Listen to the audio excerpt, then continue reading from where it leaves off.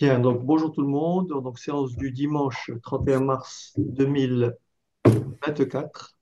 Donc euh, deuxième séance sur la proportionnalité. Cette fois-ci, on va aborder la notion de partager une quantité selon un ratio. Alors on va donc euh, d'abord rappeler les éléments du cours. Donc euh, ceci, bien sûr, comme je l'ai écrit plus bas, est extrait du, du Nathan Transmat de cinquième. Alors voici d'abord le cours. Lorsque, lorsque vous devez partager ici, on va partager en deux parts une certaine quantité. On va dire qu'on va partager en deux parts selon un ratio donné. Un ratio, c'est un rapport. Quand on vous dit un ratio de 2 sur 3, ça veut dire 2 divisé par 3. Quand on vous dit un ratio de A sur B, ça veut dire A divisé par B. Donc on vous dit ceci. D'abord la définition du partage en deux parts selon un ratio donné. Petit a et petit b désignent deux nombres positifs non nuls. Dire que deux nombres sont dans le ratio A sur B, lire A pour B, signifie que ces deux nombres sont proportionnels à A et B.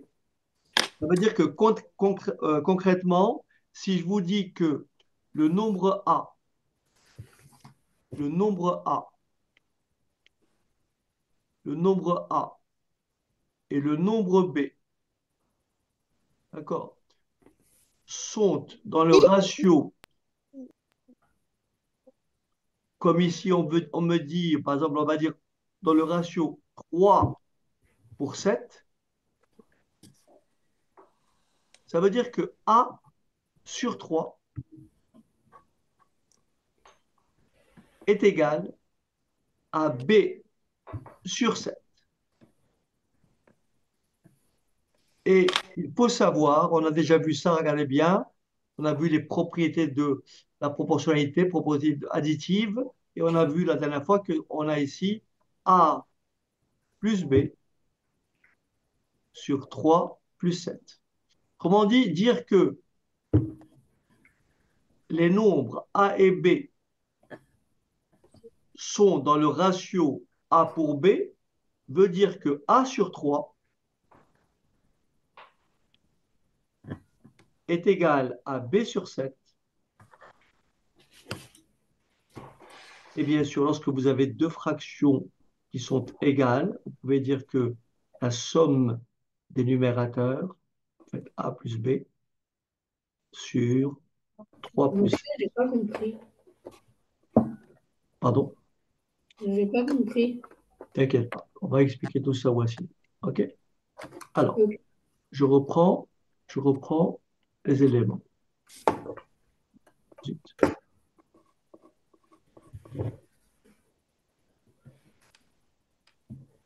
Alors, je vais garder les notations du livre. Vous aurez plus de facilité à suivre. Regardez bien. Regarde voici. Donc ici, on me dit, par exemple, on me dit les nombres les nombres 14 et 21 sont dans le ratio 2 pour 3. Ça veut dire que, ça veut dire que 14 sur 2 est égal à 21 sur 3.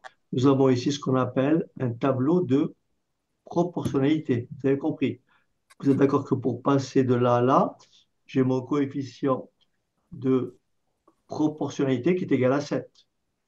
2 fois 7, 14. 3 fois 7, 21. Et qu'est-ce qu'on peut écrire aussi? Rappelez-vous ce qu'on a dit la dernière fois. On peut rajouter ici une case et faire quoi? 2 plus 3 plus 2 égale combien? 5. Et on fait 21 plus 14, ça fait combien? 35. Est-ce que vous êtes d'accord avec moi que pour passer de là à là, je multiplie par 7, je retrouve bien mon coefficient de proportionnalité? Est-ce que vous êtes d'accord que 14, c'est bien, 14 sur 2, c'est bien égal à 7 C'est pas possible. Oui. 21 sur 3, c'est bien égal à 7. Oui. Et 35, 14 plus 21, 35 sur 5, c'est bien égal à 7. Oui. Donc, donc, dire que deux nombres petit a, que deux nombres sont dans le ratio a pour b, ça veut dire que le premier nombre sur a est égal au, au second nombre sur b. Donc en général, si j'ai petit a et petit b qui désignent deux nombres positifs non nuls. Donc admettons que le premier nombre soit la part 1 et l'autre part soit la part 2. Vous me suivez? Oui. Oui. Dire que la part 1, dire que la part 1 et la part 2 sont dans le ratio A pour B, dire que les parts 1 et 2 sont dans le ratio A pour B, ça veut dire que part 1 sur, sur petit a est égal à la part 2 sur petit b. Et qu'est-ce qu'il peut me dire? Qu'est-ce que je mets à la place de quantité ici? C'est quoi la quantité? C'est quoi la quantité? Ça représente quoi la quantité d'après ce qu'on qu a écrit ici? Partie 2. Comment? Partie 1 plus partie 2. Très bien. Par 1 plus par B. D'accord? Ça, c'est la quantité. Et bien sûr, sur A plus B. Est-ce que ça va? Oui. Alors, on va prendre, on va prendre un exemple après. Là, je vais, je vais passer. Je crois que ce n'est pas la peine, je peux passer à la ligne suivante. Donc ici, on me dit ceci. On me dit ceci. On partage 15 jetons entre l'IVA et Aya, selon le ratio 2-3. Je dis l'IVA, mais c'est l'IVA, d'accord Alors, on partage 15 jetons entre Liv et Aya, selon le ratio 2-3. Est-ce que vous êtes d'accord que normalement, normalement, la part de livre sur 2, est-ce que vous êtes d'accord avec ça? La part de livre, la part de livre divisé par 2 est égale à quoi? À la part de Aya divisé par combien Et là, ça me fait la totalité des 15 jetons sur 5. Est-ce que ça va? Est-ce que des jetons de livre Pardon? Oui, monsieur. 6, c'est quoi 6 Monsieur, j'ai pas en fait- compris. Là, en fait, le cheminement, il est détaillé. Regardez bien. On n'a qu'un jeton à partager, mais dans un ratio 2 pour 3. Ça veut dire que chaque fois que Liv reçoit deux jetons, d'accord Chaque fois que Liv reçoit deux jetons, Aya en reçoit 3. Puisque le ratio, c'est 2 pour 3. Est-ce que vous avez compris? Oui. Le ratio, c'est 2 pour 3. Ça veut dire que chaque fois que Liv reçoit deux jetons, Aya en reçoit 3. Si Liv reçoit 6 jetons, Combien de jetons reçoit Aya? Elle en reçoit 9. Elle en reçoit 9. Est-ce que tout le monde a compris? Ah oui, oui, j'ai compris. Vous avez compris, puisque c'est c'est un partage selon le ratio 2 pour 3. Chaque fois que Liv a deux jetons, Aya en reçoit 3. Donc au premier tour, Liv en reçoit 2. Aya en reçoit 3. Au deuxième tour, Aya encore en reçoit 2. Pardon, Liv en reçoit 2, donc 3. Et on fait le total. Liv a reçu combien de jetons? 6. Et bien sûr, Aya a reçu combien de jetons? Neuf. On a bien ce rapport-là. Est-ce que ça va? Oui. Et donc là, si on construit notre tableau de proportionnalité, voilà comment on le construit. Ça, c'est le nombre de jetons de livres. Chaque fois que livre reçoit deux jetons, Aya en reçoit trois. D'accord? Oui. Et donc, euh, on a au total combien de jetons à partager? 15 jetons. Est-ce que vous me suivez? Oui. Donc, si je veux faire, si je veux effectuer, si je veux avoir ma propre démarche, c'est-à-dire si je veux poser le problème, est-ce que vous êtes d'accord que la totalité des jetons, il y a au total combien de jetons? Bah, 20. 15. Ah oui, 15, oui. Il y a 15 jetons à partager, vous me suivez? Oui.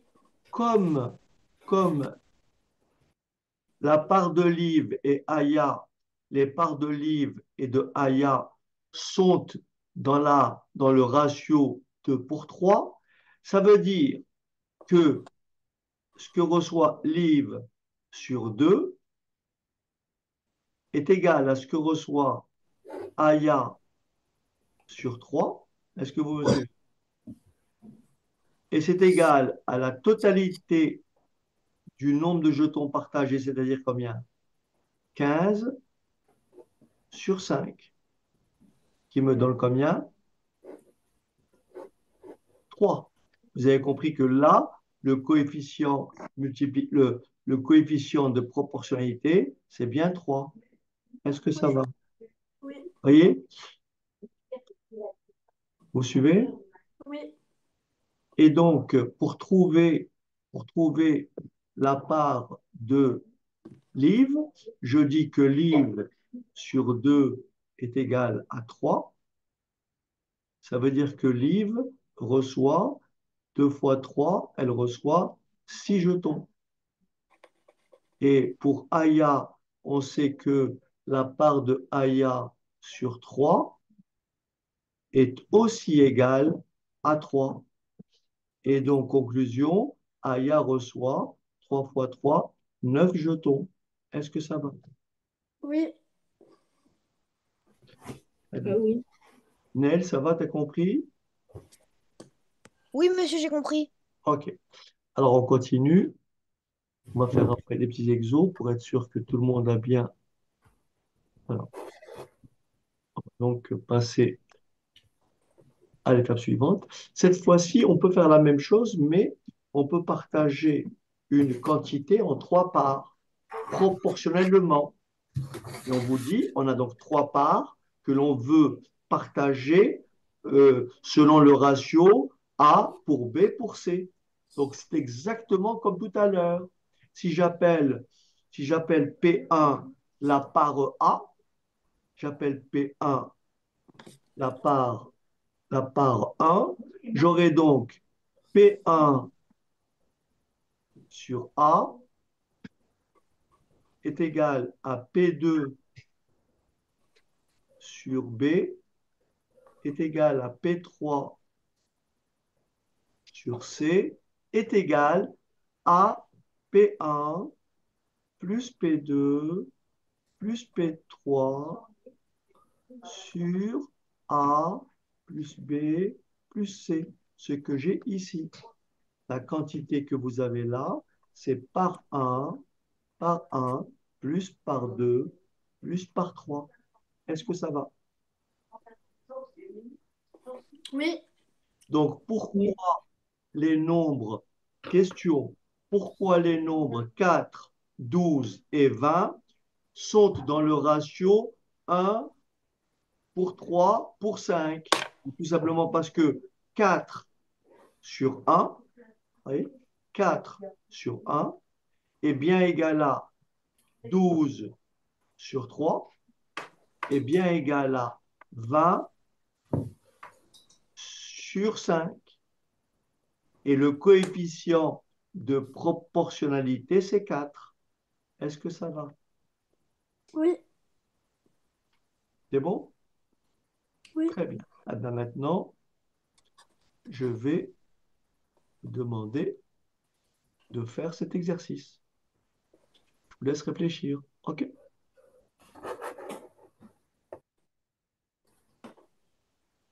Je vous explique. La masse totale de smoothie, c'est 175 grammes. Dans ces so- 175 grammes, il y a un mélange de framboise et de yaourt. Selon le ratio, donc framboise, yaourt, 4 pour 3. Ça veut dire que chaque fois que je mets 4 grammes de framboise, il faut que je mette combien? 3 Trois grammes de de- yaourt. Est-ce que c'est bon? Oui. Très bien. Puisque le ratio, c'est 4 pour 3, on n'a aucun mal à comprendre que 4 plus 3, ça fait 7. Oui, Ce qui veut dire concrètement que la masse, après je vais faire un tableau de proportionnalité pour vous montrer. La masse pas, de framboise, la masse de framboise, ok, la masse de framboise est tout simplement égale aux 4 septièmes de la masse totale 175. Et si vous faites combien ça fait 4 fois 175 divisé par 7 Ça fait donc, euh, est-ce que vous êtes d'accord, ça fait 100 monsieur, pourquoi est-ce qu'on fait 4 sur 7? parce que le ratio, c'est 4 pour 3.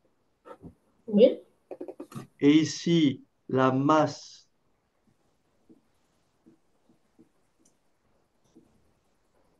de yaourt, la masse de yaourt va représenter, bien sûr, les 3 septièmes. 7, c'est la totalité. Les 3 Oui. septièmes de 175. mais pourquoi est-ce qu'on fait 4 sur la totalité? Et là, ça fait 75 grammes. Et j'ai bien un total. Et si je construis mon tableau, là, j'ai les framboises, là, j'ai le yaourt. Le rapport, c'est 4 sur 3, Donc le rapport, c'est 7, non? 4 pour 3. Je sais que la somme totale, c'est combien? 175. 4 plus 3, ça fait quoi? 7. Tout le monde voit que le coefficient de proportionnalité, je peux le calculer soit dans ce sens, soit dans l'autre sens. Si je le calcule comme ceci, le coefficient, c'est combien? 25. Et donc la masse de framboise, c'est 4 fois 25, ça fait 100. Et la masse de yaourt, c'est 3 fois 25, et ça fait 75. Est-ce que ça va? Oui. Vous voyez? 4 plus 3, 7.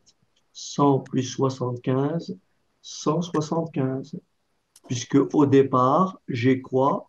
F sur 4, la masse de framboise, est égale à la masse de yaourt sur 3, puisque framboise et yaourt sont dans le ratio 4 pour 3, et ceci est égal à la masse totale, c'est-à-dire 175, vous me suivez Sur 4 plus 3, 7. Et à partir de là, qu'est-ce que je dis?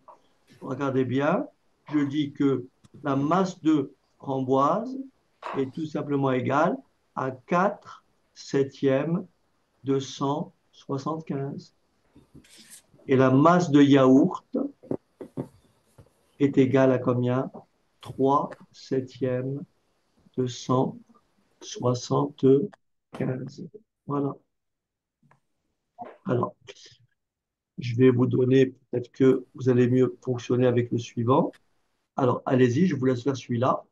Maël et Noé se partagent une somme d'argent. Calculez la part de Maël et de Noé. Donc là, vous devez y arriver. OK? Oui. OK, allez-y. Allez, je t'écoute, Rosine. J'écoute.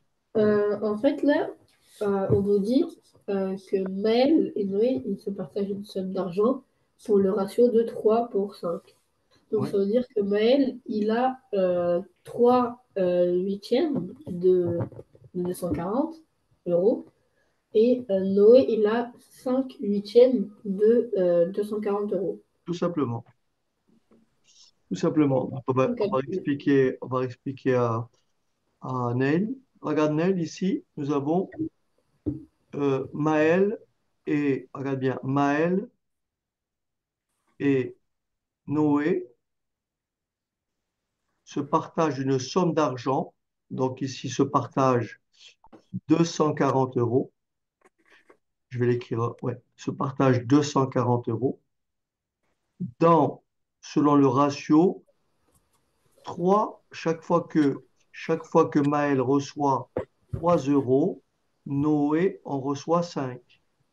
Et les 240, c'est la somme reçue par euh, Maël et Noé. Donc là, je fais 3 plus 5 et ça me fait 8. Et si tu regardes bien, si tu regardes bien, là, nous avons un coefficient de proportionnalité égal à combien? À 30. D'accord? Ce qui veut dire que Maël, comme vient de dire Wassil, Maël va recevoir 3 huitièmes de 240. Donc, elle va recevoir 90 euros. Est-ce que ça va? Et, Oui. et Noé va recevoir 5 huitièmes de 240. 5 huitièmes de 240. Donc là, ça me fait 150. Et si je fais la somme pour vérifier, 90 plus 150, ça me fait bien 240. Est-ce que tu as compris, Neil? Oui. Ok. Très bien. Alors, on va continuer.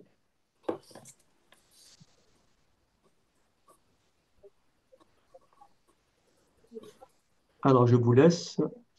On me dit un alliage est obtenu en mélangeant de l'étain, du zinc et du fer dans le ratio 4 pour 5 pour 1.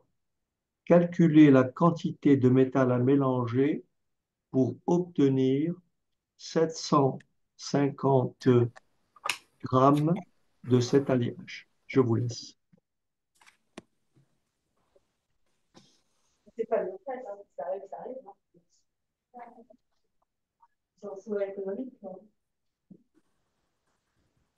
Alors, vas-y. Non, Allez, vas-y, reprends.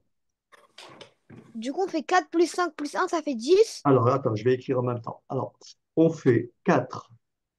Alors, 4 plus 5 plus 1 Ça fait 10. Et on dit. Oui, Ce qui veut dire qu'il y a 4 dixièmes de zinc. très bien. Donc, le, donc, donc, on commence par l'étain. Ah oui, 4 dixièmes de l'étain. Alors, l'étain représente 4 dixièmes de combien, Neil? Fois de 700 grammes.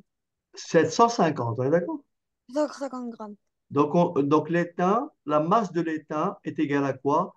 4 dixièmes de fois 750. Est-ce que vous êtes d'accord?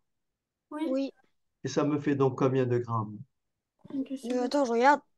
4 fois 75. 300, non? J'arrive. Je regarde sur ma calculette, attendez.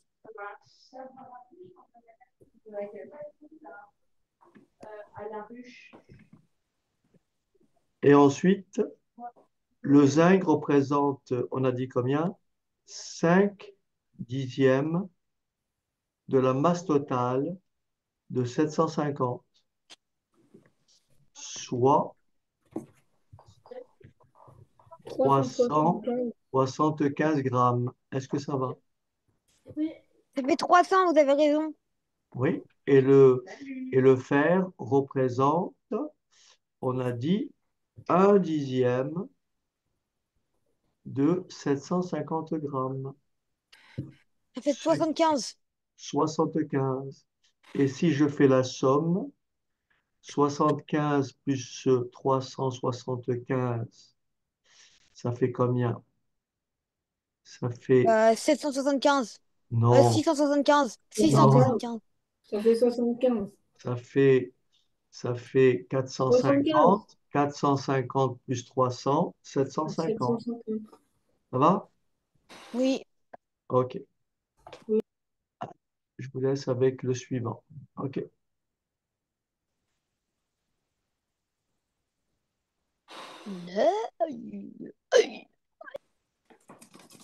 Je t'écoute, Nora.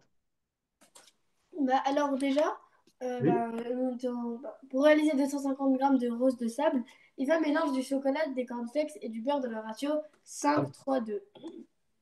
Oui. Donc, euh, calculer la masse de chaque ingrédient. Donc, pour le chocolat, on- comme euh, Non, mais d'abord, on commence par faire quoi?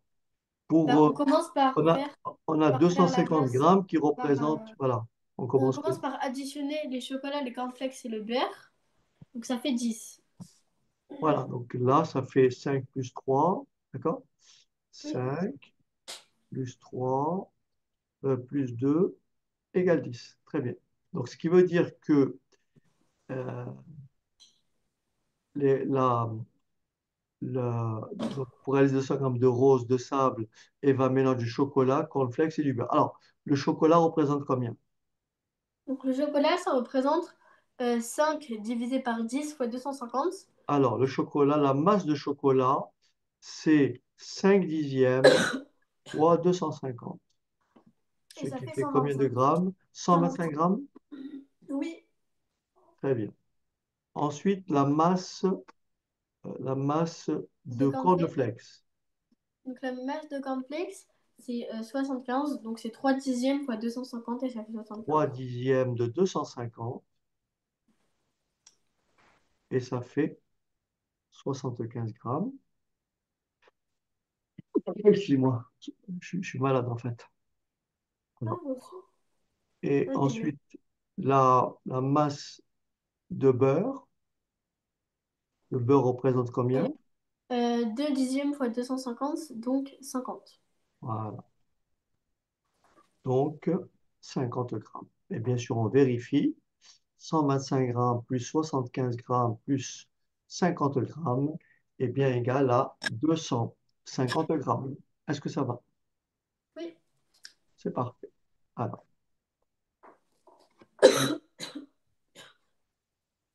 Suivant. Je vous laisse avec l'exercice.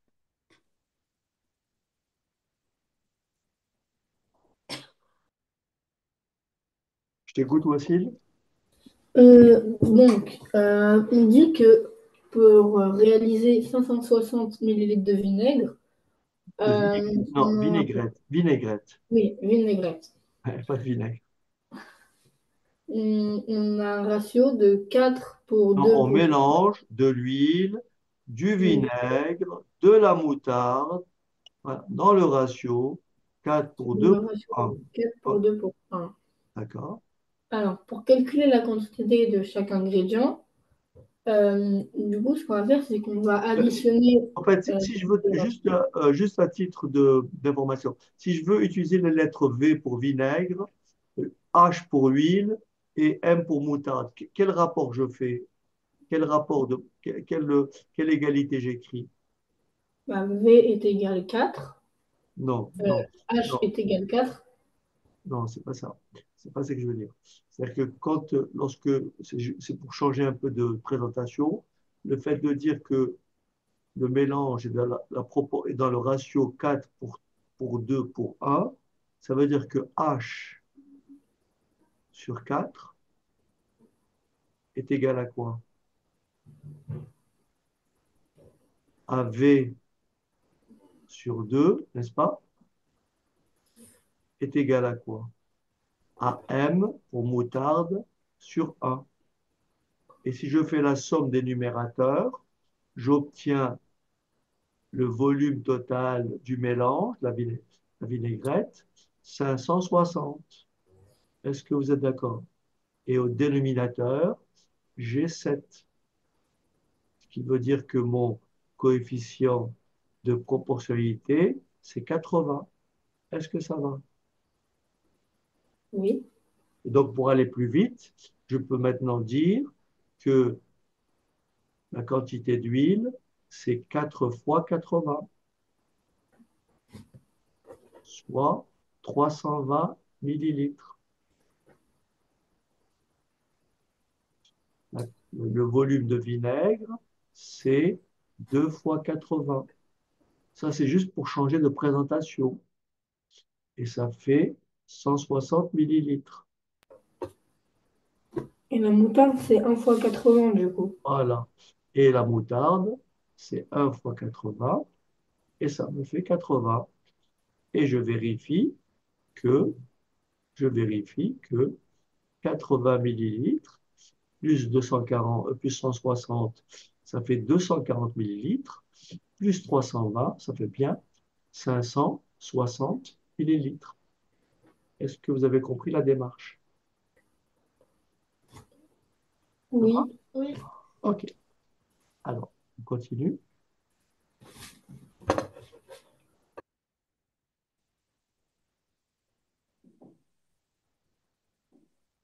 On range des cubes dans deux sacs selon le ratio 3 pour 7. Je vous laisse réfléchir. Donc là, je vous conseille de construire un tableau de proportionnalité. Non, je t'écoute. Nora. Alors oui, donc euh, on range des cubes dans deux sacs sur le ratio 3-7. Combien de cubes contient le deuxième sac lorsque le premier sac contient 12 cubes? Bah, du coup, on fait, euh, on fait 3 plus 7, ça fait 10. Très bien. Donc euh, après, on prend directement les, euh, les euh, cubes qu'il y a dans le deuxième sac. Donc il y en a... Donc euh, selon le ratio, c'est 3 à 7. Donc ça veut dire que selon le ratio, dans le deuxième sac, il y a 7 cubes. Donc on fait 7 divisé par 10 fois 12. Et ça fait 8,4. Du coup, euh, A, c'est 7,4. Bah, c'est Enfin, le- 8,4. Des cubes, c'est c'est un nombre entier, ça va pas. Ah, bah alors c'est... euh, Ben non, ça va pas, ça va pas, ça va pas. C'est des cubes, hein, c'est un nombre entier qu'on doit trouver. Est-ce que quelqu'un a la réponse? Quelqu'un d'autre? Euh, moi, j'ai une idée. Vas-y, tu as combien? Tu as trouvé combien? Euh, dans Il le y a sac, combien de, euh, il y a combien de cubes dans le deuxième sac? euh, dans le premier, j'ai trouvé euh, Dans le 28. premier, il y en a 12. Oui, et dans le deuxième, j'ai trouvé 28. C'est très bien, Wassil. Tu peux nous dire comment? Euh, en fait, du coup, ce que j'ai fait, Ouais. c'est que euh, du coup, bah, j'ai additionné euh, les ratios. Ça fait 3 plus 7, ça fait 10. Très bien, Et je sais que dans le premier sac, il y a 3 dixièmes de cube. Et d'accord, que du coup, ces 3 dixièmes, c'est égal à 12. très bien. Donc, du coup, euh, pour, euh, pour trouver 12, euh, je, on a fait euh, 3 fois 4. D'accord. Et Le rapport, c'est, oui, oui, Donc, du coup, on va faire 7 vois fois ça. 4 aussi. Voilà. OK. Bon, ta, démarche est, est juste, mais si on veut présenter, comme je vous l'ai proposé tout à l'heure, si on dresse un tableau, si on dresse un tableau de proportionnalité, regardez bien. Donc là, là, c'est le premier sac. Vous voyez? Là, c'est le premier sac. Et là, c'est le deuxième sac. Et le rapport, les, les- le nombre de, cubes sont dans le ratio 3 pour 7. Sachant que dans le premier euh, sac, il y a 12. Et dans le deuxième, je ne sais pas combien il y a. Je vais appeler ça X. Et donc là, le ratio, c'est 3 pour 7. Est-ce que vous avez compris ce tableau de proportionnalité? Et là, j'applique la quatrième proportionnelle. Je fais, je dis que X, je dis que X, c'est-à-dire le nombre de cubes dans le deuxième sac, est égal à combien? Euh, bah, 28. À 7. Oui, mais comment on trouve 28? On fait 7 fois Là, 4. quand on fait le produit comme ça, vous voyez, on On fait fait 7 fois 4. 7 fois 12 égale 3 fois x. Et le nombre de jetons, le nombre de cubes dans le second sac est égal, x est égal à 7 sur 3 fois 12. C'est-à-dire 4 fois 7, 28 cubes. Allez, je vous laisse deux minutes pour me faire le deuxième, selon le même schéma. D'accord? Allez. Vous avez compris la démarche? Puisque, en fait, je peux aussi raisonner comme ça. Je peux aussi raisonner comme ça, comme je le faisais depuis tout à l'heure. Puisque le rapport est de 3 sur 7. Donc, j'ai forcément 12 sur 3, vous me suivez, est égal au nombre de jetons dans le second sac sur 7, vous me suivez, égal au nombre de jetons au total sur 10. Mais moi, je cherche ce nombre-là. Eh ben, je fais 7 fois 12 divisé par 3. C'est-à-dire, je fais x sur 7 égale à 4. Soit x égale à 7 fois 4, donc 28. Est-ce que vous avez compris?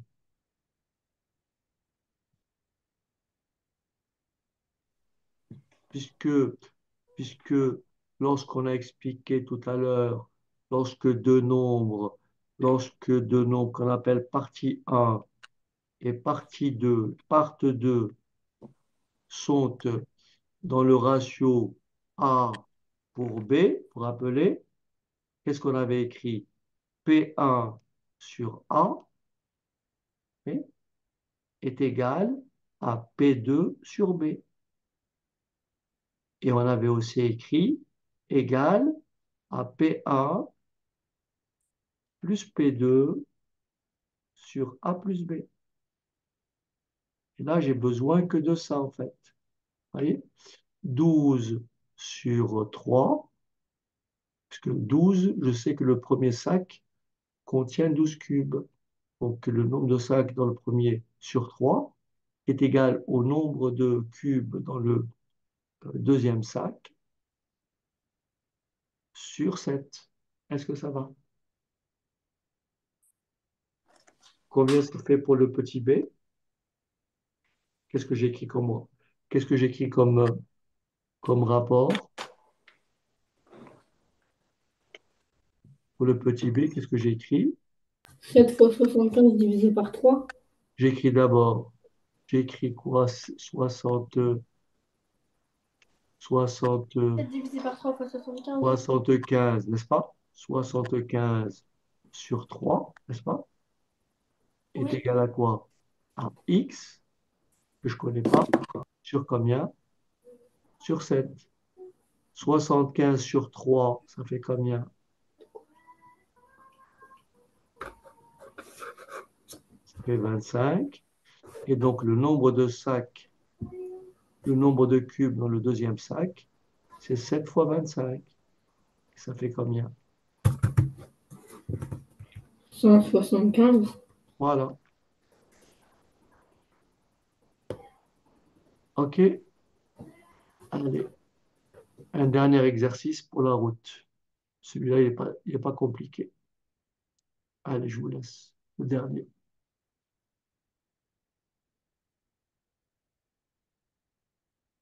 Vas-y, je t'écoute. Bah, alors, pour le A, Oui. euh, il y a- pour le A, il y a euh, deux carrés euh, bleus et six carrés verts. Non, mais d'abord, on va le raisonnement depuis le début, en fait. Euh, On déjà, fait d'abord, on fait d'abord 1, on dit, on fait trois, 1 plus plus 3, trois, ça fait fait 4. combien? 4. Et on dit que les carreaux bleus représentent combien donc? 1. Et les carreaux verts, 3. Donc, euh. Non, les carreaux bleus représentent combien? Quelle proportion? C'est la proportion de 1 sur 4. Voilà. Donc les carreaux bleus, les carreaux bleus, c'est un quart de la totalité, c'est-à-dire combien? Un quart de 8. Oui. Combien de carreaux? Donc, euh, un quart de 8, c'est égal à 2. 2. Et bien sûr, les carreaux verts, par soustraction, j'applique ma règle, 3 quarts de 8, je dois normalement trouver 6. Est-ce que ça va? Ok, Nel, je t'écoute pour le petit b. En fait, j'ai pas compris, moi. Ah bon? Oui, j'ai pas compris. Eh ben ça, c'est ce qu'on faisait au début. Je vous ai laissé ça pour la fin parce que c'est très facile en fait. Ok, Nel, je te réexplique. Ici, il y a un, quand on dit un carreau bleu pour trois carreaux verts, tu es d'accord avec moi? Bleu, vert, c'est dans le ratio, dans le ratio 1 pour 3, n'est-ce pas, Nel? Oui. Puisque un carreau bleu pour trois carreaux verts. Donc le ratio, c'est bien 1 Ah, j'ai compris, monsieur, j'ai compris. Vous compris? Voilà. Et après, on fait ce qu'on faisait tout à l'heure. On fait Oui, 1 j'ai plus compris. 3. Voilà. On fait 1 plus 3, ça fait 4.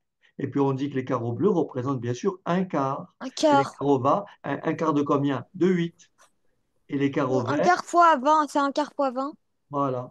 Un quart, non, ah oui, après, voilà. Donc, pour le, pour le petit b, ce serait donc quoi, Neil, alors? Euh, Un quart fois 20, ça veut dire combien? En fait, ma calculette ne peut pas faire les fractions. Un quart de 20, c'est 20 divisé par 4, ça fait 5. Ah oui. Tu me suis? Un quart de 20, c'est comme si tu fais 20 divisé par 4. Et ensuite, les carreaux verts, ça représente combien? 3 quarts. Ah, 3 quarts de 20, on va tricher, il suffit de multiplier 3 par 5. 15. Voilà. C'est bon? Allez, voici, Oui. fais-moi- le dernier. Euh, en fait, pour le C, du coup, euh, on a un ratio de, bah, du coup, un, un carreau bleu pour... Le, le ratio ne change pas, c'est toujours 1 sur 3. ok? Donc, ce qui a changé, c'est le nombre de carreaux. Donc, ça fait combien pour le, les carreaux bleus? Il y en a combien? Donc, euh, c'est un quart fois 32. Très bien. Et ça fait combien? Ça fait 8. Très bien. Et ensuite, les carreaux verts. Soit on fait, soit on fait 32 moins 8, mais on va quand même vérifier. On fait 3 quarts fois 32. On est d'accord? Oui, Et ça fait 24. C'est bon? oui, Oui, Voilà. monsieur. oui. Allez, bonne soirée. Bonne Bonne soirée. Au revoir. Au revoir. À, à la semaine prochaine. À la prochaine. Bonne soirée. Merci. Merci pour ce cours.